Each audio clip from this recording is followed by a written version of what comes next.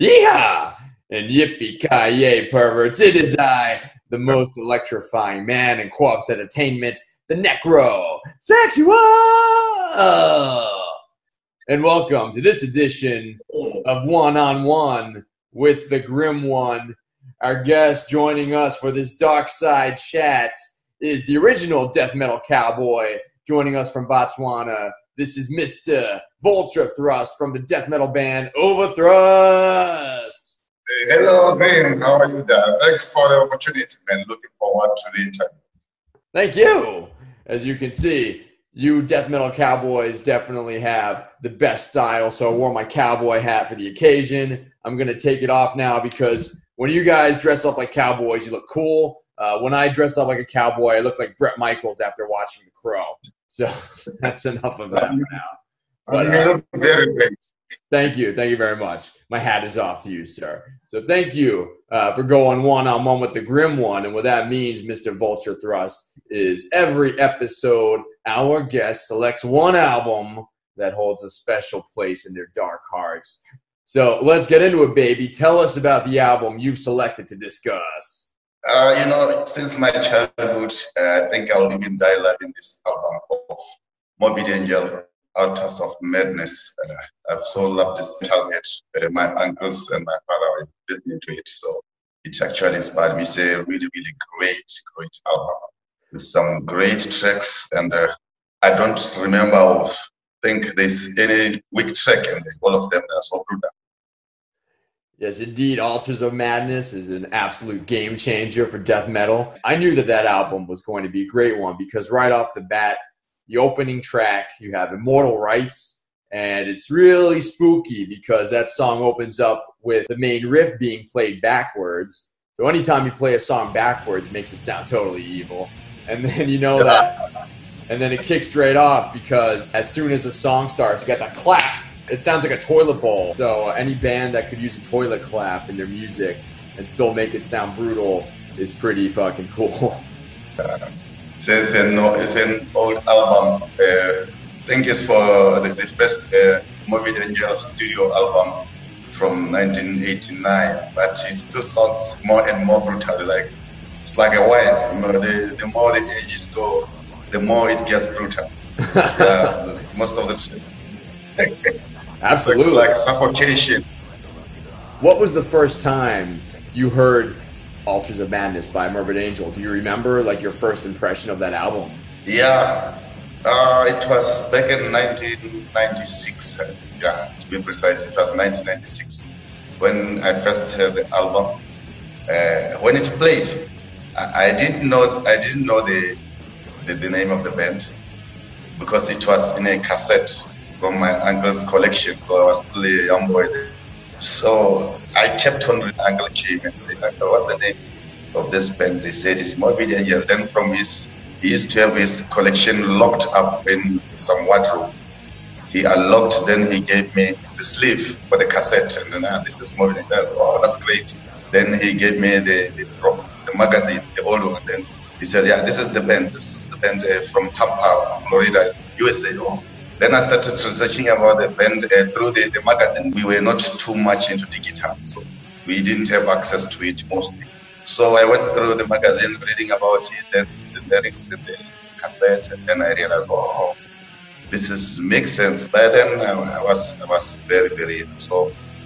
The first riff that uh, catched me is the riff from the Suffocation. Uh, that one it really killed me. Then from there, that is when I started developing the love for death metal because before I was just listening to Motorhead, Metallica, and this uh, old school bands, Iron Maiden, Def Leppard. So when I immediately I left that one, Morbid Angel, then I said, this is what I've been looking.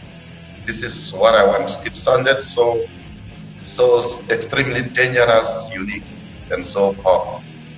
So that is when I realized that oh, this album is great. And then the love of the band started from there until now. Indeed, Morbid Angel is a fine band uh, to evolve. That must have been something going from Def Leppard to listening to Morbid Angel and Suffocation. Definitely stepping up your brutality game. Yeah, exactly. Thank you so much. Yeah. So, what was the first metal band that you listened to? It was Iron Maiden. Yeah.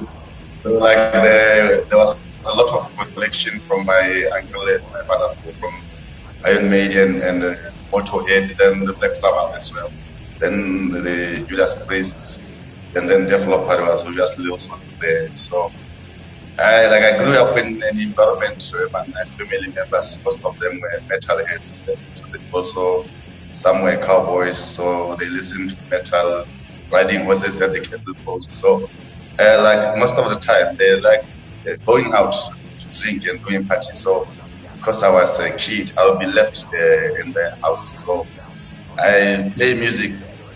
In fact, when they left, they left the music playing out. So I was like kind of attracted. Then I go there, their rooms, then I listen to music until I had a choice to select from the the albums they had. Then I checked, they exchanged the music, playing the whole day. When they come back later, they found me asleep uh, with the radio holes. So uh, the, the, Judas Priest and the, the Black Sabbath, yeah, they have something also, something unique, like the they, they, they're kind of riffing. They were so heavy and extreme. And then the old Metallica. So when the, the Dave Mustaine was part of the band, yeah, it was brutal. And I can certainly relate to that cowboy lifestyle of going out, drinking, and listening to music. So that's something I think we can both agree on there. In addition to heavy metal, you mentioned, and uh, your your country in Botswana seems like it has a really cool cowboy culture. So, like, what's your favorite cowboy music to listen to, or country music, I guess? Yeah, but uh, mostly country. But I used to listen to Dolly Parton because my mom was listening to it. So, and uh, some other few, like the the, the old man, uh, may rest in peace, uh, Don Wheeler. So, my mother used to have collection, and she also had uh, rock and roll classics, Boston, Boston. So, like my mother used to had some some classics like I grew up in a, in a rock and roll and metal. Like everything is just around me. So the the cowboy culture it is there in Botswana. It's part of the culture. Uh, we're doing uh, plowing in the fields and then cattle rearing and we ride horses and then like stuff like that. So we spend uh, our times uh, in cattle posts and the plowing fields. So that like that's so cultural. Going back to Morbid Angel for a second, uh, on Altars of Madness, do you have a favorite song? Oh, yeah, my favorite song in, in Morbid Angel is, is Suffocation. Mm. Uh, I really don't know why, why it's my favorite, but it has something to, to there's, there's like a connection between it. Uh, the, when it plays like when I'm I'm sleeping, I can wake up uh, to the sound of it when I'm feeling lazy and stuff, when it plays, I get activated immediately. And also blasphemy, yes, great one. Start with the like the, the shooting sounds. Yeah, non-stop blast beats for the entire song. But yeah, I think that's something you and I can also agree on. You're a bass player, I'm a bass player, and Suffocation, the Morbid Angel song, has a wonderful little bass solo in there. You know, one of the few moments in that album where the bass guitar comes through. And so that, of course, holds a special place in my four string loving heart. one thing also that inspired me into Morbid Angel, like, uh, you know, the, the heavy way of uh, the dress code on stage is so, so great. Uh, like the culture of dressing up on stage, looking brutal. And uh, I also like the affirmation of a, a bassist where a bassist is a vocal. So it's, it's some kind of inspiration to yeah, like uh, I have so much connection with them. Like Morbid Angels album was recorded in the Altars of Madness, recorded in December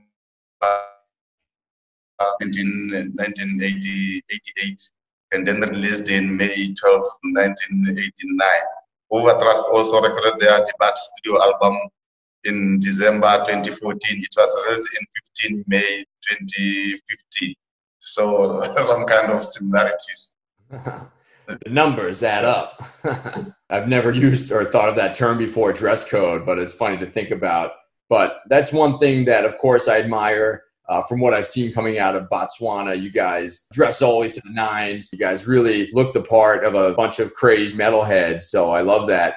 And I think that with heavy metal music, you know, the visual presentation should match the intensity of the sound too, whether it's like black metal style or thrash metal style or death metal.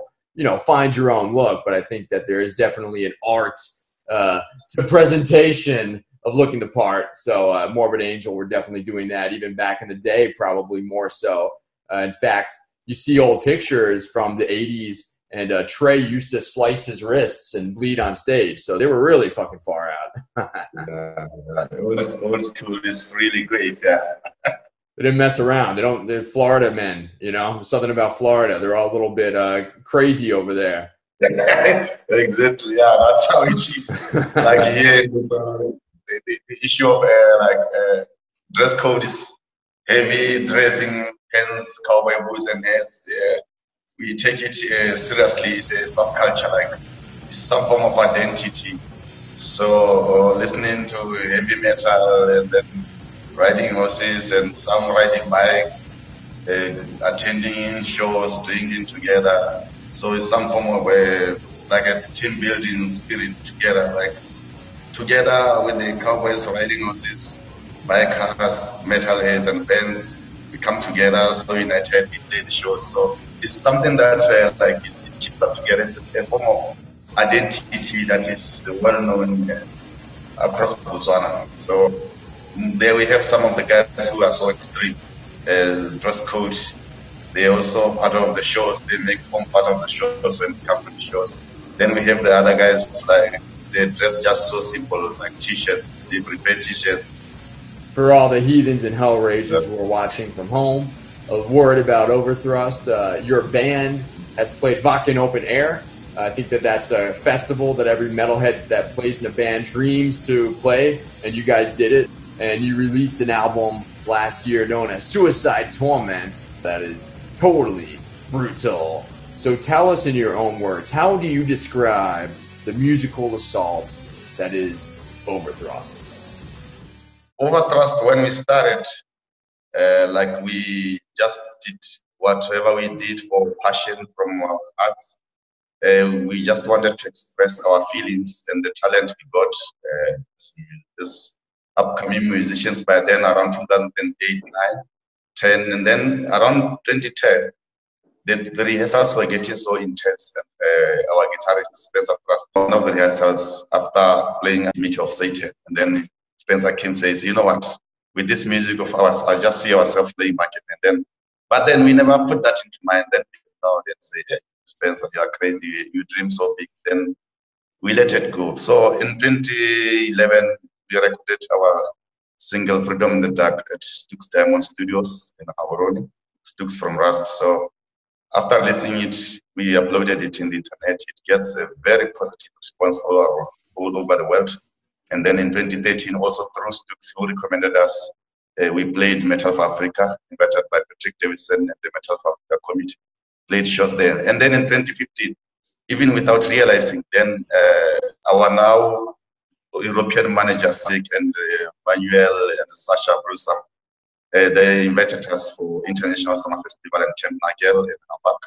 And that is where everything started. When when we were playing there and we started to see that over the scan, and then they went to pitch us for, for Wacken. Uh, they checked our music, they checked our links, and then Pep the photographer from Spain, uh, the former photographer for Motorhead, he said, no, I know these guys. I even went to Botswana to check over trust to interview them. And then uh, we were invited for Wacken, and when we played there, we received extremely positive response across the world. We had like in Facebook about there were about 3,000 by the 26 by the evening of that, uh, after Wacken, we had uh, over 15,000 likes. So it all started there. We started receiving uh, invitations again from Europe, USA, uh, and then 2017 we went to play Holland and Germany again. 2018 I went to Finland to represent Overthrust and Botswana documentary there. So it always started getting uh, immediately after Wacken. You son of a bitch! You killed our brother!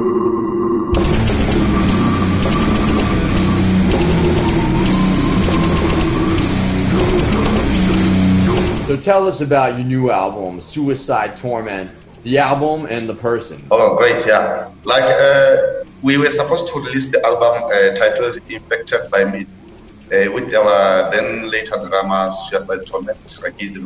So what happened in 2018? He was in a, at a public pub, and then uh, there was a guy who was drunk. Uh, he hit about six people uh, in the process of um, beering and running through people at that bar, and then suicide was among the crowd that was hit, and unfortunately he passed away in 20 December. So, and then we we withdrew that album. Uh, then we did an album dedicating it for him, uh, an EP.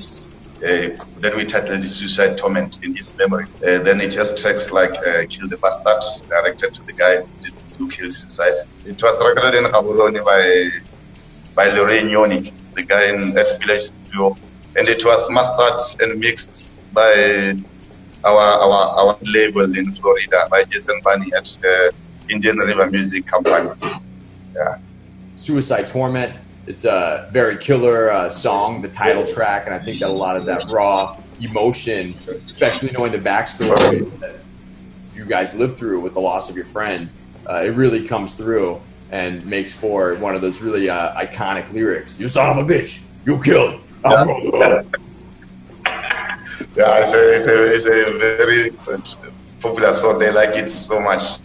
So yeah, it was specifically dedicated to uh, expressing our anger towards the, the culprit. The, the same album, the, the, the one that we'll be recording, uh, it will be in July next year, Infected by Me. So it's has similar tracks. It's almost uh, uh, like all is in line with Overthrust theme of songs. Yeah, so we were supposed to be record it uh, at Milestone Studio in South Africa in July. So we postponed it to July next year because our record label has to come up here.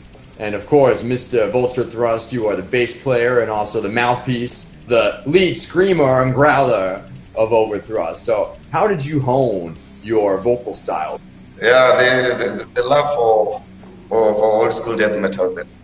Actually, like I've said before, so it was an inspiration and growing in an environment where the underground music was being played. Like uh, Morbid Angel, it went well with ourselves, but the other members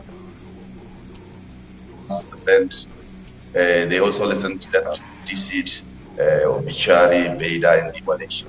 So we actually trying to uh, fall on the footsteps of the legendary old school death metal bands. I should also mention to all the heathens and hellraisers watching at home, if you want to hear more brutal metal from Botswana, Check out Overthrust on the Svart Records compilation, Brutal Africa, alongside some other bands like Rust, Crack Dust, Stain, I think PMA. We have a really very interesting uh, and unique uh, bands here in Botswana. Uh, the compilation Brutal Africa was a compilation of about six, if not seven uh, bands. We have Rust in there, Metal Horizon, we have PMMA, Stain, uh, Overthrust. So the competition was done in 2014 by Svart Records from Finland. Uh, and then in September 2019, 2018, 2019, it was released. So there is an, an example of what we got in Botswana, but there's more. There's more bands to look out. Like we have a band like Petrified one of the old bands. Uh, they are, then we have Revenant Flesh in Botswana, which was started around 2015. Uh, I'm, I'm proud to confirm that uh, I, I, saw the band rising up. I had my own contribution of advices, and the brothers were also close. I've invited them to most of our shows. So they are really well organized band and they are underground. They are very, very great, very underground. We have Remuda. Remuda has been existing a long time back. Probably one of the oldest uh, from the band Bar and Barrel. We also have Dust and Fire. Dust and Fire, we stay with them here Takane. They play rock and roll too. And then we have the one of the oldest again from Pigwe in Botswana called Evergreen. Uh, Skinflint is has been there in the scene for a very long time. uh, one of the best. They have been touring lately a lot. Uh, before the pandemic, uh, they played so many shows in Europe and USA. They are also managed by the first Botswana rock band, uh, Noisy by Ivo Sbrana, uh, the, the, the, the, rock father of Botswana. They, they produced our first album, Desecrated This to Disease. It was recorded at uh, Metal Records by Ivo Sbrana uh, of Nosey Road and uh, Sabrana from Skinflint. So the, the, the, the metal scene is so like so connected and uh, one so so brutal. We have uh, other upcoming bands, but they have just been there in the scene. Not currently, they are rising. We have the first uh, technical brutal death metal, one piece man band for now, a product of Civic. So uh, I think after this pandemic, probably next year, uh, we will be conquering the world with uh, our music. I would also like to mention that uh, Winter Mania, Overthrust Annual Winter Metal Mania is the charity festival that we do, and that is where the African bands are mostly exposed because they show involves uh, other African bands uh, from outside Botswana who come and join, and together we do the march and fight against poverty where the show also is attended by the internationals from as far as Europe, USA. We have the media coverage from BBC, CNN, and the likes. Yeah. So tell us, what's on the horizon, the mental horizon, uh, for Overthrust and for yourself in the future? We, we, we actually for this year, we had a, a line of activities, and with those activities, we were extremely sure that uh, we were going to meet our targets. Uh, we were supposed to have a USA tour. We were supposed to play Florida, we supposed to play Florida, Tampa, and uh, Orlando, and the nearby cities. The show was organized by our record label, uh, Indian River Music Company, through Jason Banning. We had also uh, wanted to play a show in Angola and uh, South Africa, then Mozambique. Uh, we had done the local tours usually by end of the year.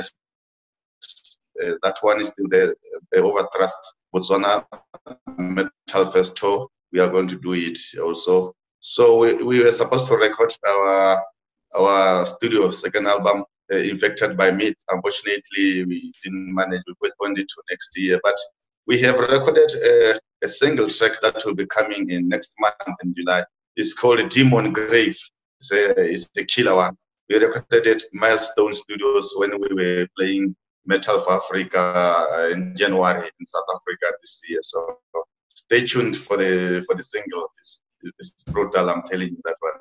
The moment oh. we hear it, yeah, it's a killer. Based on how brutal Suicide Torment was, I'm getting a heavy metal heart on just thinking about the next transmission of brutality to come from Overthrust.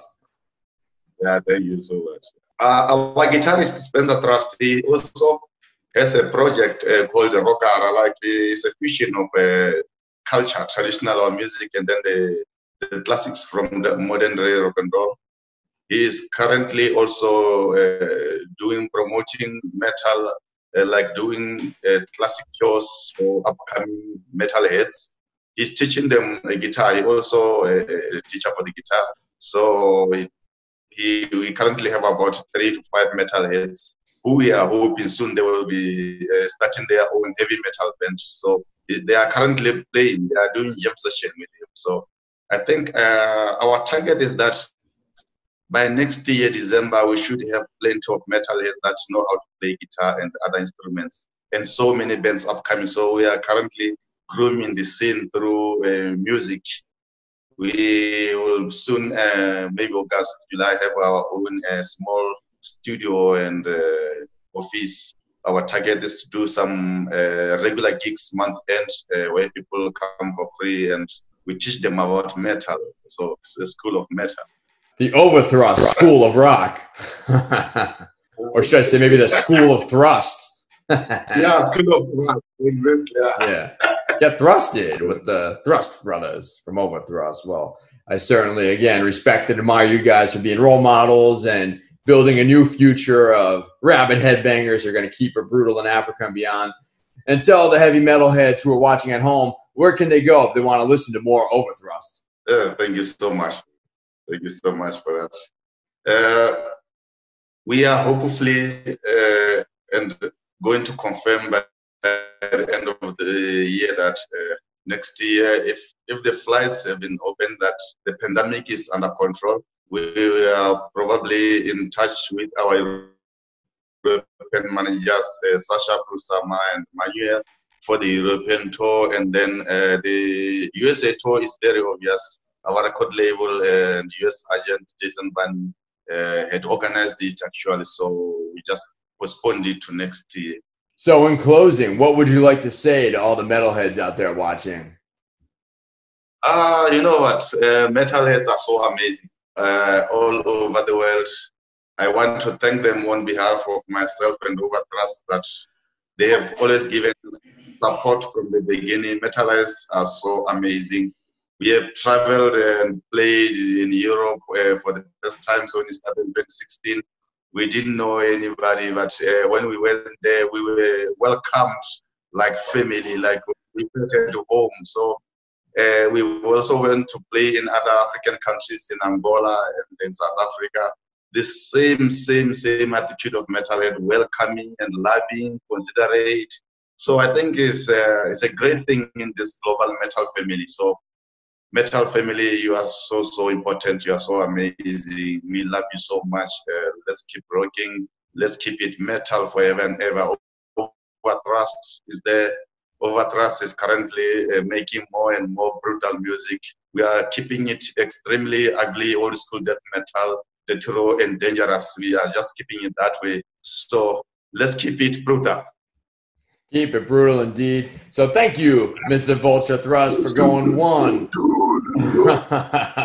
yes, I like that. Ugly, old school, brutal, and dangerous, baby. It's the words, words I can definitely live by. Thank you, Mr. Vulture Thrust, for going one on one with the Grim One to talk about. Yes. You're welcome. Stay safe. Enjoy Meta.